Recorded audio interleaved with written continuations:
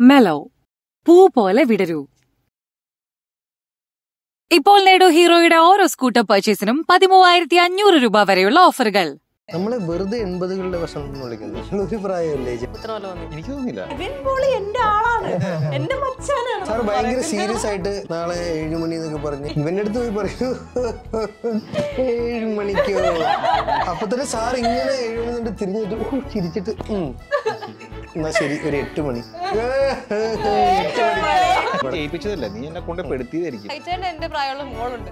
എന്റെ അടുത്ത് എനിക്ക് മോളെ ഓർമ്മ എന്റെ അഡ്മിന് ഒരു പ്രത്യേക ഗുണമുണ്ട്. എന്നെ കുറിച്ച് എന്ത് മോശം ചെയ്താലും അത് സ്ക്രീൻഷോട്ട് എടുത്ത് അയച്ചു ചേട്ടൻ അറിയാതെ ഒന്നും പോകാൻ പാടില്ല. നല്ലത് പറയത്തില്ല സുഹൃത്തുക്കൾ ഉള്ളതുകൊണ്ട് മാത്രം സിനിമയിൽ വന്നവനും നിലനിൽക്കുന്നവനുമായവരാണ് റീൽസ് ഒക്കെ അടക്കി വാഴുകയാണ് നിങ്ങൾ ഇപ്പം ഭക്ഷണം കഴിക്കുന്നിടത്താണ് കൂടുതലും ഈ റീൽസ് ഉണ്ടായത്. നിന്റെ പാത്രത്തിൽ നോക്കി കഴിക്കണമെന്ന് പറയുന്നതും സാനിയുടെ സാനിയയുടെ പൊറോട്ടയൊക്കെ വലിച്ചു കീറി കൂടുതൽ ഭാഗമൊക്കെ എടുത്തിട്ട് പോകുന്നു പ്രൊഡ്യൂസർ കൊണ്ട് കഷ്ടപ്പെടുത്തുക.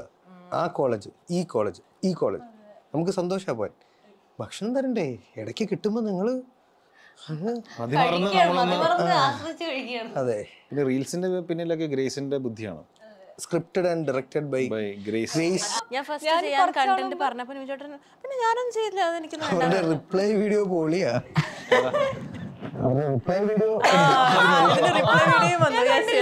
നിവിൻ നിവിൻ പോളി എന്റെ ആളാണ്. എന്റെ മച്ചാനാണെന്ന് പറയുന്നത്. അല്ല ഗ്രേസിന്റെ ഐഡിയ ആണെന്ന് പറഞ്ഞത് ഇപ്പൊ ഗ്രേസ് നേരത്തെ ഒരു ഷോർട്ട് ഫിലിം ചെയ്തിട്ടുണ്ടായിരുന്നു അക്നോളജ് പറഞ്ഞിട്ട്. അപ്പൊ ഇനി വെരി സൂൺ നമ്മൾ ബിഗ് സ്ക്രീനിൽ എന്തെങ്കിലും ഡയറക്ടോറിയൽ വെഞ്ചർ കാണുമായിരിക്കും പ്ലാനിലാണ് അല്ലേ? ഗ്രേസ് പ്ലാനിലാണ്.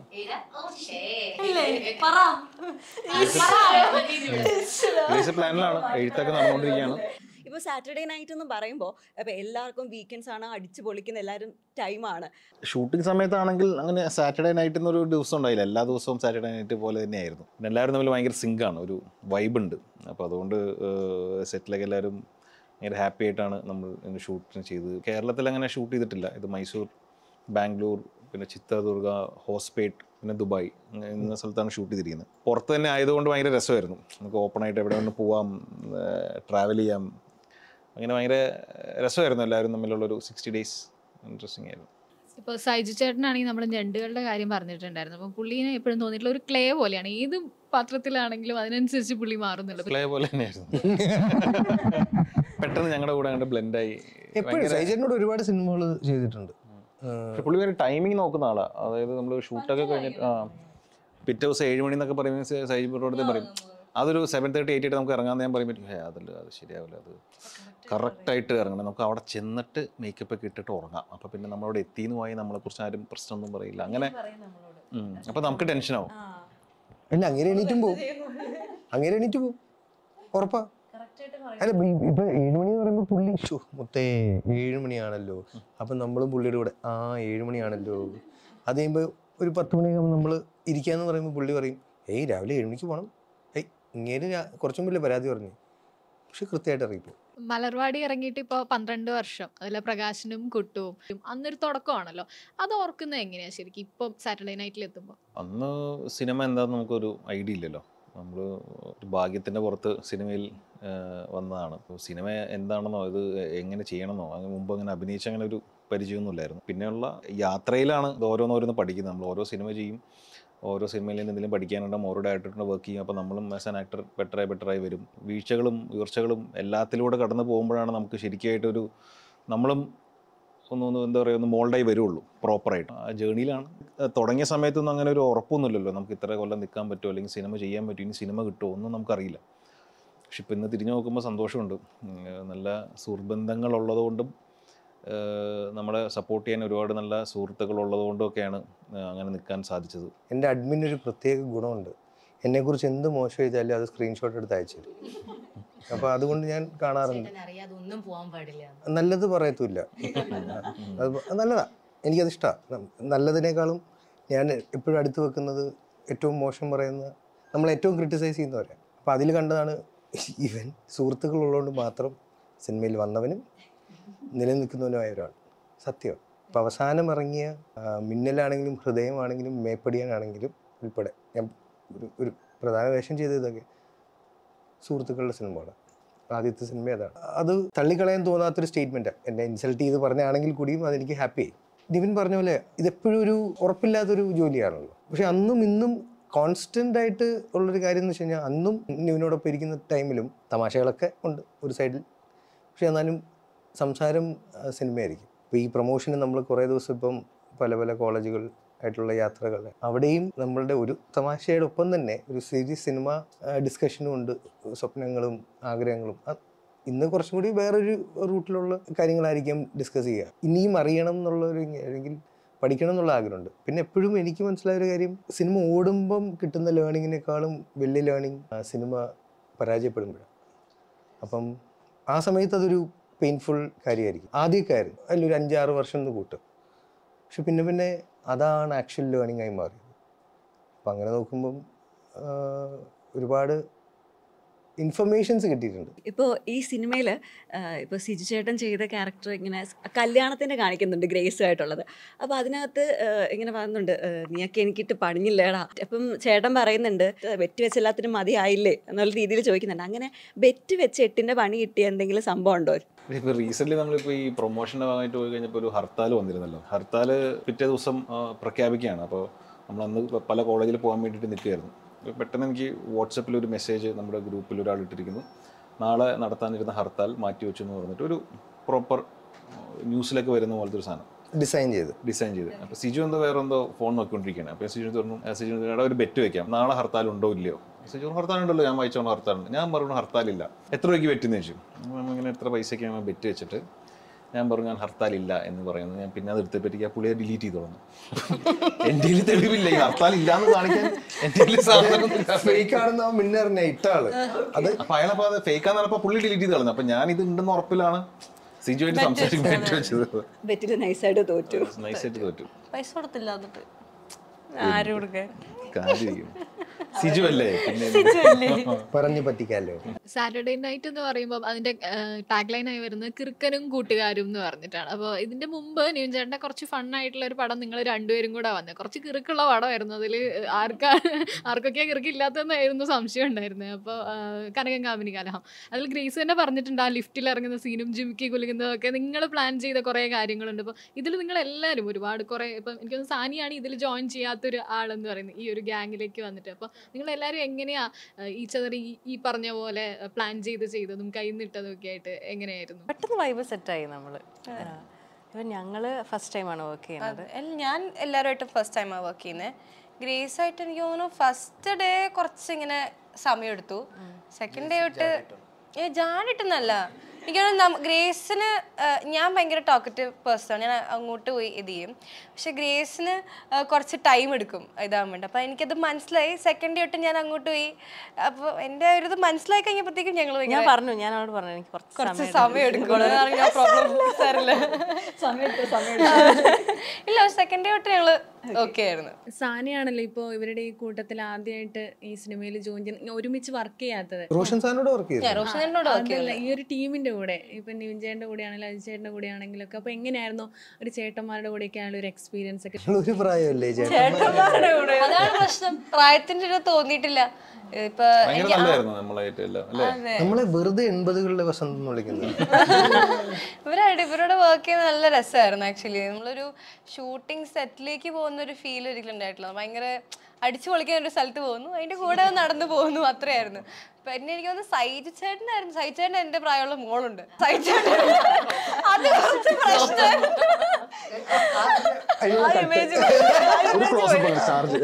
രണ്ട് വയസ്സ് മാത്രമേ ഉള്ളൂ. അപ്പൊ സൈച്ചേട്ടൻ എന്റെ അടുത്ത് ഇങ്ങനെ പറയും എനിക്ക് മോളെ കാണുമ്പോ മോളെ ഓർമ്മ വരിക. അപ്പൊ സൈച്ചേട്ടൻ മാത്രം കുറച്ചൊരു ആക്ച്വലി ഈ ക്യാരക്ടർ ചെയ്യാൻ ഭയങ്കര ചാലഞ്ചിങ് ആയിരുന്നു. പ്രത്യേകിച്ച് പുള്ളിക്കാരൻ ഇതുവരെ ചെയ്യാത്തൊരു ടൈപ്പ് ഓഫ് ക്യാരക്ടർ ആയതുകൊണ്ട് സൈചേട്ടന് നമ്മൾ നമ്മൾ കഥ വായിച്ച സമയത്ത് സൈചേട്ടൻ നമ്മൾ ഫ്രണ്ട്സ് ഒരുമിച്ചാണെന്നുള്ള സാറ് പറയുമ്പോൾ സൈചേട്ടൻ "ആ, സാർ അദ്ദേഹം വളരെ ശ്രദ്ധിച്ചേ സംശയങ്ങൾ ചോദിക്കും അപ്പം ഞങ്ങളെ പേടിപ്പിച്ചു. അപ്പം എന്നോടൊക്കെ ഈ വായിത്തോന്നിയൊക്കെ പറയുന്നുണ്ട്. അങ്ങനെയൊന്നും ചോദിക്കാൻ നിൽക്കണ്ട അദ്ദേഹത്തിന്റെ ഒരു രീതിയോ പറയുന്ന രീതിയുണ്ട്. അപ്പോൾ അദ്ദേഹം ഇതിൽ സാറിനോട് അല്ല സാർ എന്റെ ക്യാരക്ടർ വേണമെങ്കിൽ ഒരു രണ്ട് വർഷം തോറ്റതാക്കാം. അപ്പോൾ ഞാൻ പറഞ്ഞു മനുഷ്യൻ നിങ്ങളാണ് ഏറ്റവും കൺവിൻസിങ് ഈ ഈ ഈ ഏജ് ഗ്രൂപ്പിൽ പെടാൻ. ഇതിൽ ആരെക്കാളും.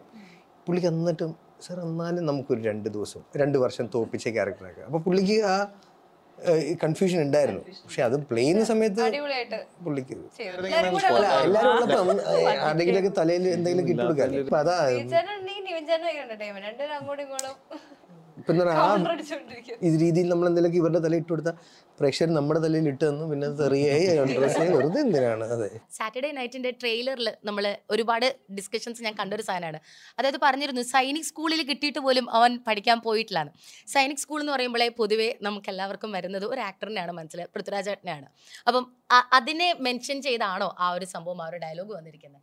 നീ നവീൻ ചേട്ടൻ വിളിച്ചു വെച്ചടാ എനിക്ക് തോന്നുന്നില്ല. എനിക്ക് തോന്നുന്നില്ല. കാര്യം നവീൻ ഭാസ്കർ അങ്ങനെ ഒരു സോഷ്യൽ മീഡിയ ബഫല്ല അല്ലെങ്കിൽ അങ്ങനെ ഇരുന്ന് എന്നാ പിന്നെ അതിനനുസരിച്ചൊരു സാധനം ഒരു ട്രോൾ രീതിയിൽ പ്ലേസ് ചെയ്യാമെന്ന് ചെയ്യുന്ന ഒരാളല്ല. പുള്ളി ആ സൈനിക് സ്കൂളിൽ നിന്ന് ഉദ്ദേശിച്ചത് സൈനിക് സ്കൂളിൽ പഠിച്ചു കഴിഞ്ഞാൽ ഏതൊരു വ്യക്തിയും ആഗ്രഹിക്കുന്ന ഒരു സ്ഥലമാണ് അവിടുത്തെ ഡിസിപ്ലിനൊക്കെ ജീവിതത്തിലോട്ട് വന്ന് നമുക്ക് ഏത് മേഖലയിലോട്ടും പോകുന്ന ഒരു പ്രൊഡക്റ്റ് ആക്കി മാറ്റുമല്ലോ. അപ്പം അതിന്റെ സി അത്രയും പ്രസ്റ്റീജിയസ് ആയിട്ടുള്ള ഇൻസ്റ്റിറ്റ്യൂഷനിൽ പോലും കിട്ടിയിട്ടും സുഹൃത്തുക്കളെ വിടാത്തത്. അതേ ഉദ്ദേശിച്ചിട്ടുണ്ടാവുള്ളൂ. പുള്ളി ആ ഒരു രീതിയിൽ എന്നെ കണ്ടിട്ടുണ്ടാവാൻ ചാൻസ് കുറവാണ്. പ്രതാപ് പോത്തൻ സാറിന്റെ അവസാനത്തെ ചിത്രമാണ് അല്ലെ? സാറിന്റെ ഒരു ഇനിമിറ്റബിൾ ആക്ടറാണ് ഒരു Legendary. ഹൗ വാസ് ഇറ്റ് അദ്ദേഹത്തിന്റെ കൂടെയുള്ള അവസാനത്തെ ആ ഒരു സ്ക്രീൻ സ്പേസ് ഷെയർ ചെയ്യാനുള്ള ലക്ക് കിട്ടിയവരാണ് നിങ്ങൾ. അപ്പം how was that whole experience Pratap സാറിനോട് ആക്ച്വലി വർത്തമാനം പറഞ്ഞിരിക്കാൻ ഭയങ്കര രസമാണ്. ഭയങ്കര രസമുള്ള ഒരുപാട് കഥകളും മുമ്പ് ഷൂട്ട് ചെയ്തിട്ടുള്ള വിശേഷങ്ങളും ഇതെല്ലാം പറഞ്ഞ് കേട്ടിരിക്കാൻ ഭയങ്കര രസമാണ്. അപ്പോൾ നമ്മൾ രണ്ട് ദിവസം ഇത് നടക്കുന്ന രണ്ട് ഇൻസിഡന്റ് നടക്കുന്ന രണ്ട് ദിവസം മുമ്പ് നമ്മൾ ഷൂട്ടിലായിരുന്നു നമ്മുടെ ഷൂട്ടിന് പോയിട്ടാണ് ഇത് സംഭവിച്ചത്. ഇനി അഡ്വൈസസ് അദ്ദേഹത്തിൽ നിന്ന് കിട്ടുന്നില്ല ഇല്ല ഞാൻ അങ്ങനെ പോയി ഒരു പരിചയമില്ല. അപ്പം ഞാൻ പോയി ശല്യപ്പെടുത്തുന്നത് ശരിയല്ലല്ലോ. ഞാൻ ചെന്നൊരു ഫോട്ടോ എടുത്തു അതും അത് പതിഞ്ഞിട്ടും ഇല്ല. അതാണ് ഏറ്റവും എന്റെ കൂടെയുള്ള വ്യക്തി എടുത്തത് ഗ്രേസ് ഇപ്പോൾ എടുക്കുന്ന എല്ലാ ക്യാരക്ടേഴ്സും വിജയമാണ് എടുക്കുന്ന എല്ലാ ക്യാരക്ടേഴ്സിനും അതിന്റെതായ പ്രാധാന്യമുള്ള ക്യാരക്ടേഴ്സാണ് എടുക്കുന്നത്. Oh my അപ്പം ഇല്ല ഇപ്പം ഈ ഒരു സിനിമയുടെ ഷൂട്ടിങ്ങിന്റെ അതേ ടൈമിലാണ് മമ്മൂക്കയുടെ കൂടെ ഉള്ള ഒരു സിനിമയുടെയും ഷൂട്ടിംഗ് നടന്നത്. അപ്പം ഐ തിങ്ക് ചട്ടമ്പിയുടെയും ആ ഒരു ടൈമിൽ തന്നെ ആയിരുന്നു ഷൂട്ടിങ് കഴിഞ്ഞിരുന്നല്ലേ അല്ലേ? എന്നാലും ഇതിനകത്ത് കുറച്ചുകൂടെ ഫൺ പാക്ഡ് ആയിട്ടുള്ള ഒരു ക്യാരക്ടറാണെന്ന് തോന്നുന്നു അല്ലേ? പക്ഷേ ഈ റോഷാക്കിൽ നോക്കുമ്പോൾ കുറച്ചുകൂടി സീരിയസ് ആയിട്ടുള്ള ഒരു ക്യാരക്ടറാണ് അപ്പം ഈ ഒരു ക്യാരക്ടർ ഡ്രിഫ്റ്റിംഗ് അതെങ്ങനെയായിരുന്നു? ഞാൻ ആദ്യമായിട്ടാണ് ഒരേ സമയത്ത് രണ്ട് പടങ്ങൾ ചെയ്യുന്നത്. അപ്പം ഒരു സെറ്റ് ഞാൻ ഇങ്ങനെ കേട്ടിട്ടുണ്ട് ഓരോരുത്തരും ചില വലിയ വലിയ നടന്മാരൊക്കെ ഒരു സെറ്റിൽ നിന്ന് അടുത്ത സെറ്റിലേക്ക് പോകുന്നു എന്നൊക്കെ ഇങ്ങനെ കേട്ടിട്ടുണ്ട്. എന്തോ കുത്തി പറയുന്ന പോലെ കുത്തിയില്ല ഞാൻ ആരും കുത്തിയില്ലല്ലോ. കുത്തിയോ? കുത്തണ പോലെ തോന്നിയോ? അപ്പൊ പിന്നെ ഭയങ്കര വലിയ ചെറിയ പോലെ ഇരിക്കുന്ന പക്ഷെ വലിയ നടന്മാരും അങ്ങനെയൊക്കെ പോരാ ഇത്രയും പോരെ. നമുക്ക് പതിനാറ് ക്യാമറ ഉണ്ട് അത്രയും പോരെ. അത് ആദ്യമായിട്ടാണ് എനിക്ക് അങ്ങനത്തെ ഒരു എക്സ്പീരിയൻസ് പക്ഷേ എന്താ പറയുക ഞാൻ എനിക്കിതിൽ വളരെ ചെറിയൊരു ക്യാരക്ടറാണ് ഉള്ളത്. ഞാൻ സിജാന്റെ പേരായിട്ട് തന്നെ അത് ചെയ്യുന്നത് ഞങ്ങൾ ഹാപ്പി വെഡിങ്ങിലാണ് ആദ്യമായിട്ട് അഭിനയിക്കുന്ന ഒരുമിച്ച്. അതൊരു നല്ല വല്ലാത്തൊരു എക്സ്പീരിയൻസ് ആയിരുന്നു ശരിക്കും. ഇനി ആക്ച്വലി ഷൂട്ടിന് വരുമ്പോഴത്തേക്കും രണ്ടു ദിവസം ഗ്രേസിനെ കാണും പിന്നെ ഗ്രേസ് അടുത്ത സെറ്റിലേക്ക് പോകും. ഫ്ലൈറ്റ് കയറി കളിക്കായിരുന്നു ഗ്രേസ് പക്ഷെ മടുത്തു പോയി. ആ ചേട്ടനും അതെ. സൗചന്റെ മറ്റേ മൂവി ഇപ്പൊ വരികയല്ലേ മേഘ മ്യൂസിയം സാറ്റർഡേ നൈറ്റും കൂടെ. അവിടെ ഒത്തിരി ജോഡി വരുന്നു. റോഷൻ സാറിന്റെ കൂടെ നിങ്ങൾ മൂന്ന് പേരും രണ്ടാമത്തെ മൂവിയാണ്.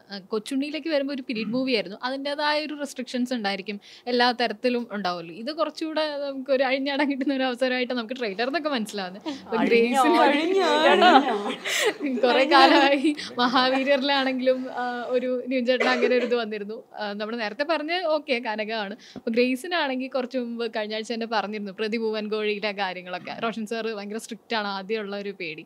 സാനിയയ്ക്ക് സല്യൂട്ടില്ല അപ്പോൾ നിങ്ങൾ മൂന്ന് പേർക്കും ഇത്തവണ റോഷൻ സാറിന്റെ കൂടെ ഒരു സെക്കൻഡ് ടൈം എന്നുള്ള രീതിയിൽ എങ്ങനെ ഉണ്ടായിരുന്നു ആ എക്സ്പീരിയൻസ് അങ്ങനെയില്ല. എല്ലാ സെറ്റിലും ഒരേപോലെ എനിക്ക് തോന്നിയിട്ടില്ല മൂഡ് അനുസരിച്ചാ റോഷനായിട്ട് ഇത്ര കോമഡി സിനിമ എന്ത് സീരിയസ് ആണെങ്കിലും റോഷനായിട്ട് നമ്മൾ ഞാൻ ഞാൻ എപ്പോഴും റോഷനായിട്ട് സംസാരിക്കുന്ന മുമ്പ് ഞാൻ നോക്കും. കുറച്ച് നേരം ഒന്ന് നോക്കും എന്താണ് മൂഡ് ഓക്കെ ആണെങ്കിൽ ഒന്ന് ചെല്ലും. അല്ലെങ്കിൽ റോഷനായിട്ട് ചിലപ്പോൾ ഫ്രസ്ട്രേറ്റഡ് ആയിട്ട് എന്തെങ്കിലും ഷൂട്ടിൽ എന്തെങ്കിലും നടക്കുന്ന എന്തെങ്കിലും ആയിരിക്കും. ഭയങ്കര ദേഷ്യമൊക്കെ പെടും.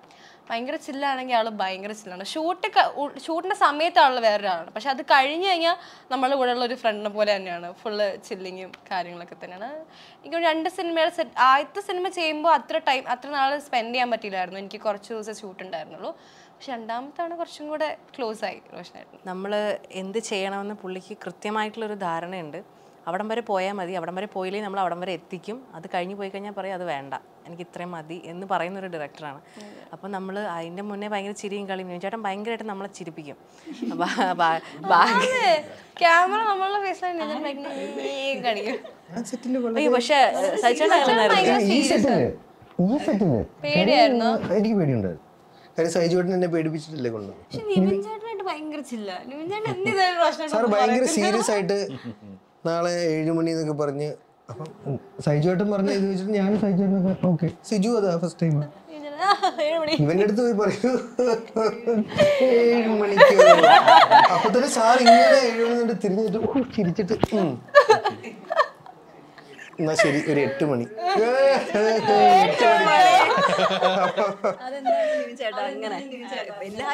അതൊന്നുമില്ല നമ്മൾ കൊച്ചുണ്ണി സമയത്ത് നമ്മൾ എപ്പോഴും ഡിസ്കസ് ചെയ്യായിരുന്നു. ഒരു എന്റർടൈൻമെന്റ് സിനിമ ചെയ്യണം. ഹ്യൂമർ പടം രണ്ടുപേർക്കും കൂടി ചെയ്യണം എന്ന് പറയുക നമ്മൾ ഷൂട്ട് കഴിഞ്ഞുള്ള സമയങ്ങൾ നമ്മൾ എപ്പോഴും ഒരുമിച്ചുണ്ടാവുമായിരുന്നു അപ്പം തമാശകളും അതും ഇതൊക്കെ പറഞ്ഞ് എപ്പോഴും ഈ എന്റർടൈൻമെന്റ് ആണ് ഫുൾ ടൈം അപ്പം ഇങ്ങനെ ഒരു കഥ വന്നപ്പോൾ വന്ന് പറഞ്ഞപ്പോൾ അങ്ങനെ ചെയ്യാമെന്ന് പറഞ്ഞപ്പോൾ ഞാൻ പറഞ്ഞു എന്നെ റെസ്ട്രിക്ട് ചെയ്യരുത്. എന്നെ വിട്ടേക്കുക അപ്പോൾ പുള്ളി കറക്റ്റായിട്ട് പറഞ്ഞു തരും നമ്മൾ ഓരോ ആർട്ടിസ്റ്റ് ചെയ്യുമ്പോഴും കൃത്യമായിട്ട് പുള്ളി എല്ലാവരോടും വന്ന് അഭിനയിച്ച് കാണിച്ചു കൊടുത്തെല്ലാം ചെയ്തു തരും. അതൊക്കെ ഭയങ്കര ഇൻട്രസ്റ്റിംഗ് ആയിട്ടുള്ള കാര്യമാണ്. പക്ഷേ സെറ്റിൽ ഫ്രീ ആയാലേ നമുക്ക് ഫ്രീ ഇങ്ങനത്തെ ക്യാരക്ടർ ചെയ്യാൻ പറ്റുള്ളൂ. അങ്ങനെ പിടിച്ചിരുന്നാൽ പറ്റൂല. അപ്പോൾ പുള്ളി ചില ദിവസങ്ങളൊക്കെ ഭയങ്കര എന്തെങ്കിലും ലൈറ്റിന്റെ കാര്യത്തിൽ എന്തെങ്കിലും കാര്യത്തിലേക്ക് ഭയങ്കര ഇറിറ്റേറ്റഡ് ആയിട്ട് ഇരിക്കാൻ ആരും പോയി മിണ്ടുന്നില്ല പക്ഷെ ഞാൻ നോക്കി ചിരിപ്പിക്കും. എപ്പോഴും ചിരിപ്പിക്കും. അപ്പോൾ സീരിയസ് ആയിട്ട് എന്റെ മുമ്പിൽ അങ്ങനെ ഇരിക്കാൻ പറ്റിയിട്ടില്ല. ഇനി സീരിയസ് ആയിട്ട് ഇതിന് പറയണതിന് എന്നെ നോക്കൂല. ബാക്കിയുള്ളവരെ നോക്കി സംസാരിക്കും. നമ്മൾ ഒരു പ്രൊമോഷൻസിന്റെ സ്ഥലങ്ങളിൽ റോഷൻ സാറിനെ കണ്ടില്ല? അപ്പോൾ യൂഷ്വലി സാറ് പടത്തിന്റെതായിട്ട് തിരക്കിലാണ്. അതിന്റെ ഫൈനൽ ഫൈനൽ അതെ അതെ.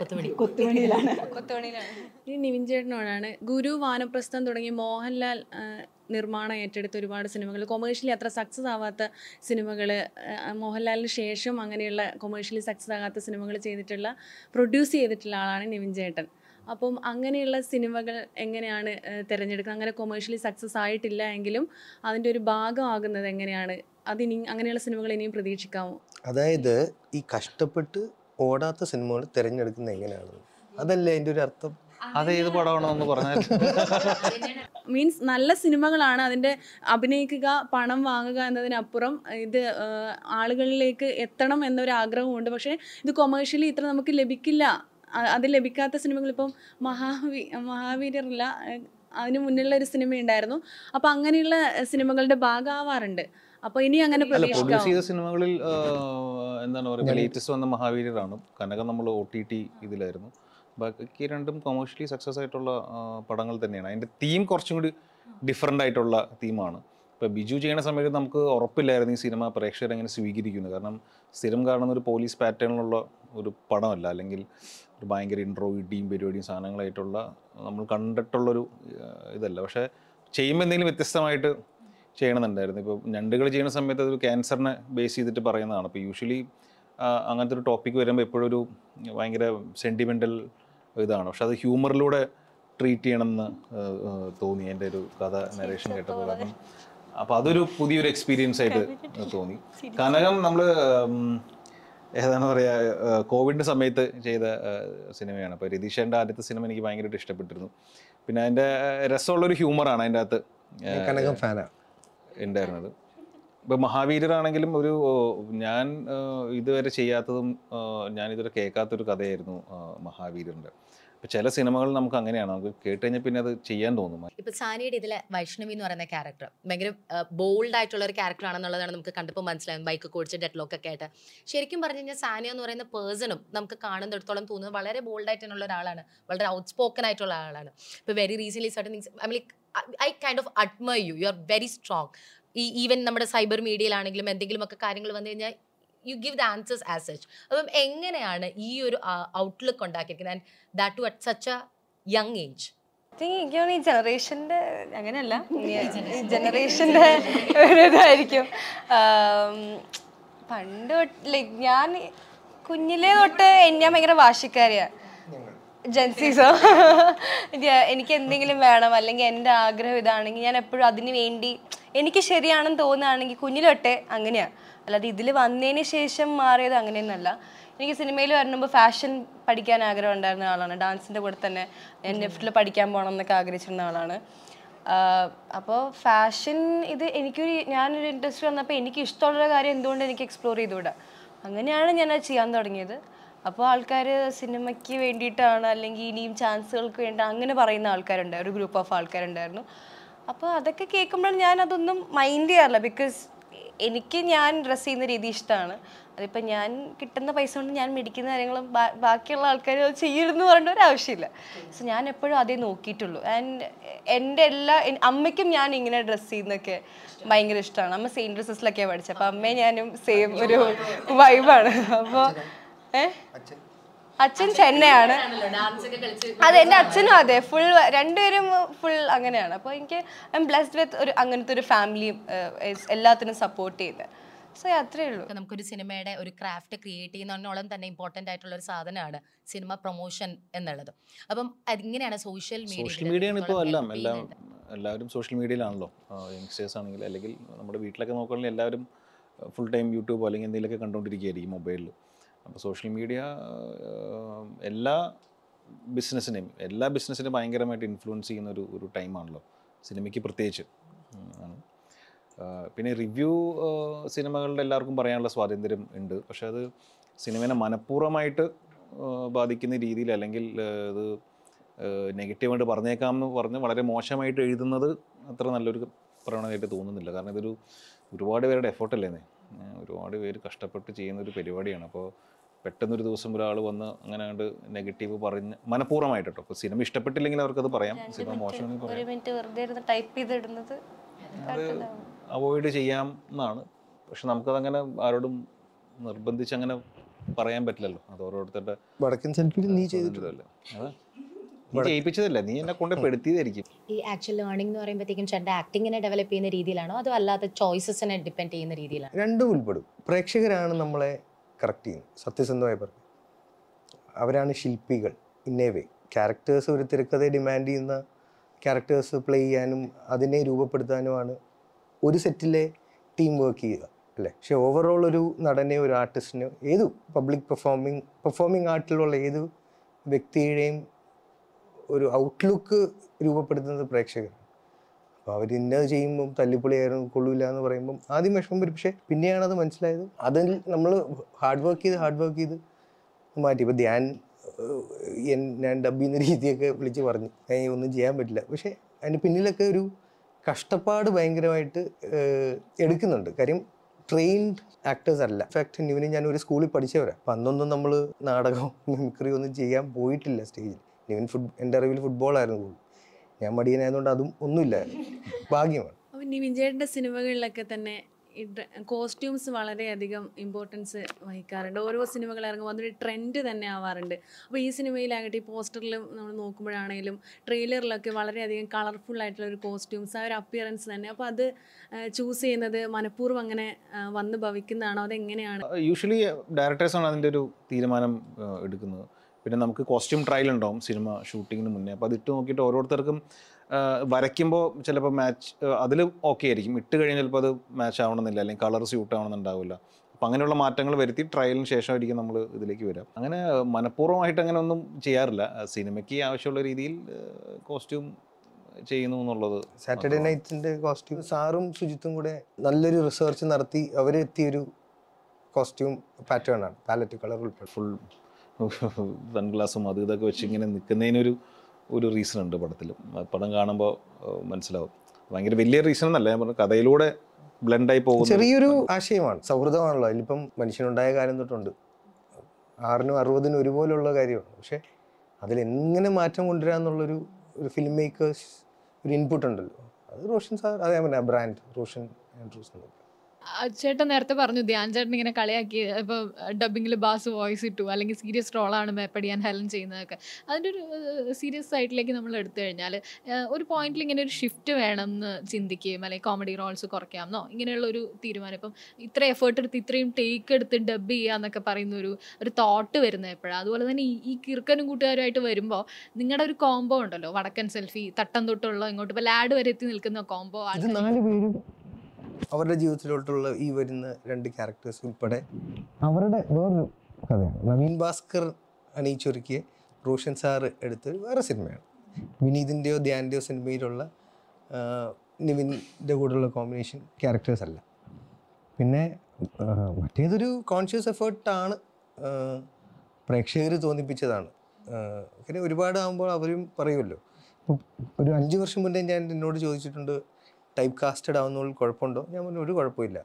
പക്ഷേ പിന്നെ പിന്നെ അത് ഭയങ്കരമായി ക്രിറ്റിസിസം വരുമ്പോൾ അത് ഞാൻ പറഞ്ഞില്ല ആദ്യം ഞാൻ പറഞ്ഞില്ലേ ഇത് ഇത് രൂപപ്പെടുത്തുന്ന അല്ലെങ്കിൽ അതിന്റെ പിന്നിലെ അണിയറ ശില്പികൾ പ്രേക്ഷകരാണ്. ഇനി നിവിൻ ചേട്ടനോട് കൂടുതലായിട്ട് ഇപ്പം കോമഡി കഥാപാത്രങ്ങളാണ് ഒരുപാട് ചെയ്യുന്നത്. ഒരുപാട് കഥാപാത്രങ്ങൾ. ഇനി മൂത്തോൻ പോലുള്ളൊരു കഥാപാത്രം പ്രതീക്ഷിക്കാം. അങ്ങനെയുള്ള ഒരു ശക്തമായിട്ടുള്ള ഒരു കഥാപാത്രം. അറിയില്ല അങ്ങനെ വന്നാൽ ചെയ്യാം.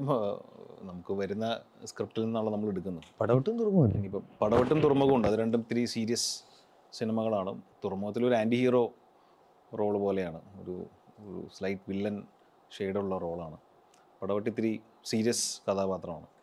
ഇങ്ങനെ ഇതേപോലെ ഹ്യൂമർ പരിപാടിയല്ല അതിന്റെ അകത്തുള്ളത് സോഷ്യൽ റെലവെന്റ് ആയിട്ടുള്ള എന്ത് ഇഷ്യൂസൊക്കെ വന്നാലും എല്ലാം സോഷ്യൽ മീഡിയയിലൂടെ ഇൻസ്റ്റാഗ്രാമിലാകട്ടെ ഫേസ്ബുക്കിലാവട്ടെ എല്ലാം അതിനെതിരെ പ്രതികരിക്കാറുണ്ട്. ഉണ്ടായിരുന്നു. ആ ഉണ്ടായിരുന്നു. ഉണ്ടായിരുന്നു.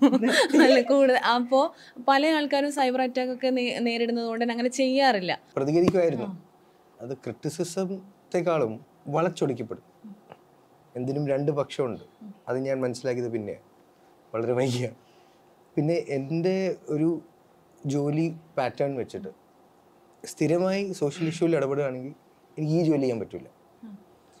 ഈ ജോലി ചെയ്യുകയാണെങ്കിൽ സ്ഥിരമായി അതിൽ ഇടപെടാൻ പറ്റില്ല ഒന്നിൽ ഇടപെടുകയാണെങ്കിൽ എല്ലാത്തിലും ഇടപെടണം ഇടപെടണമെന്ന് പലരും പറഞ്ഞു തന്നു. അപ്പം നാച്ചുറലി ഞാൻ ഫുൾ ടൈം അതിനുവേണ്ടി കണ്ണു തുറന്നിരിക്കണം. അല്ലെങ്കിൽ നമ്മൾ ശ്രദ്ധിച്ചിരിക്കണം. പിന്നെ മൂന്നാമത് നമ്മൾ ഇതിൽ പറഞ്ഞതുകൊണ്ട് മാറ്റം വരുന്നുണ്ടോ? അപ്പോൾ ഞാനിത് പറയാനുള്ള ഒരാളായിട്ട് ആരും കാണുന്നില്ല. അപ്പോൾ വെ- വിലയില്ലാത്തവൻ വെറുതെ ഇത് പറഞ്ഞുകൊണ്ടിരുന്നു കഴിഞ്ഞാൽ കാര്യമില്ല. സൊസൈറ്റി മാറുന്നില്ല. അതല്ല ദൈവമേ. അതല്ല സൊസൈറ്റി മാറുന്നതല്ല. എനിക്കതിന് ഞാനൊരു റെപ്രസെന്റേറ്റീവ് ഓഫ് ദി പബ്ലിക് അല്ല.